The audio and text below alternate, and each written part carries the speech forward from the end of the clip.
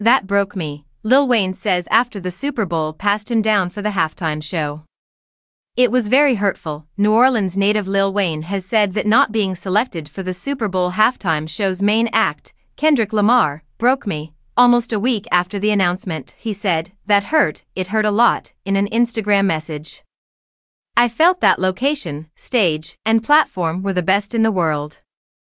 I'm attempting to rebuild myself, even though it broke me. Wayne has said on many occasions over the years that he wanted to perform in the performance.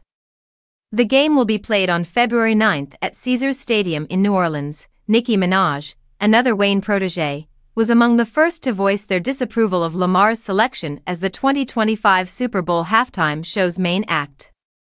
The controversy started online almost immediately after the Los Angeles native was revealed as the host. Even though Lamar is now perhaps the best and most significant rapper in the world, Wayne has a huge musical heritage that dates back to the 1990s, when he first became well known as a young rapper with the Hot Boys.